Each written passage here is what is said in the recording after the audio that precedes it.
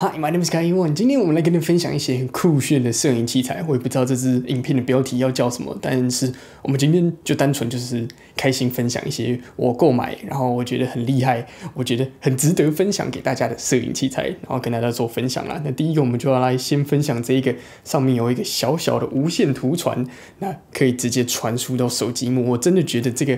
非常厉害，而且重点是价格便宜啊。它一个内建电池的无线图传，小小的放在你的相机上面，放在呃跟焦的荧幕输出上面，大家都可以看到画面，这超级方便啊！你要给美术，你要给任何人都可以，你要给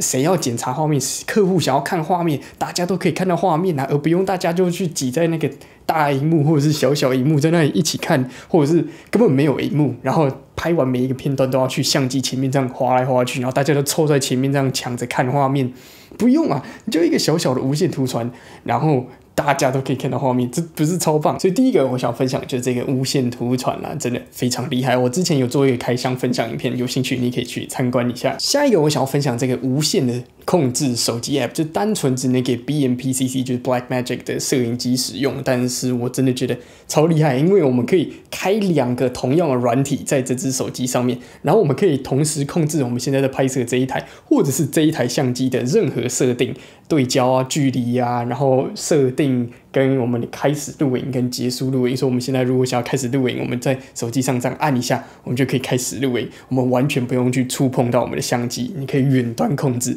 所以我们现在像是我们在这里要双击拍摄的话，我们可以很轻松的在同一只手机看到我们的画面，还可以同时控制两台相机的开始录影，真的是超级方便。所以有的时候我们可能要卡，或者是我们要 NG 一个画面，我们就可以不用跑过去那边按。然后跑步过来这边按，我们可以直接在手机上开始录音，结束录音。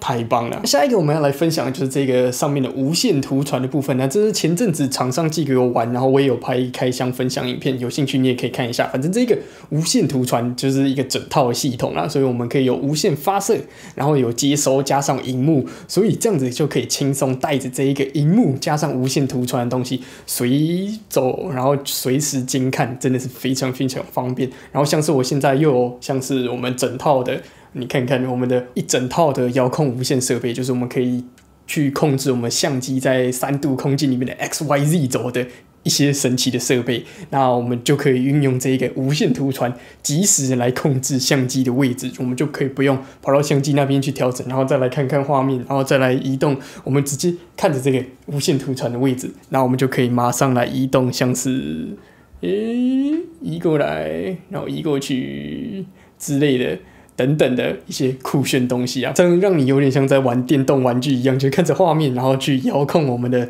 画面位置，然后整个相机的移动完全不用碰到相机，所以就等于有点像是一个虚拟的世界，然后我们在遥控虚拟的世界的概念，超级酷炫。我这让我想到好像 PTZ Camera Pan Tilt Zoom 的相机一样，只是我们现在是组一个更大的。那这样子，如果我可以来设定一些什么网络远端遥控，我就可以远端遥控一个整套的摄影设备，然后它的 Pan Tilt Zoom 还有它的移动位置，这整个我都可以来设定控制，这真的是。超帅！那下一个我们来分享上面这一块的 NPF 电池板，我真的觉得这一个叫做 PRO BTY，然后看起来 logo 很像 GoPro 的一个品牌啊，这个真的是有够便宜，应该是一千块有找的价格，我们就可以有 D Type 输出，有 USB Type A Type C 的输出，还有一个 DC 输出，只需要用一个 NPF 电池就可以供电，这所有的东西真的是。方便到炸开来，那它也有卖好多好多的版本，就是有一些是像是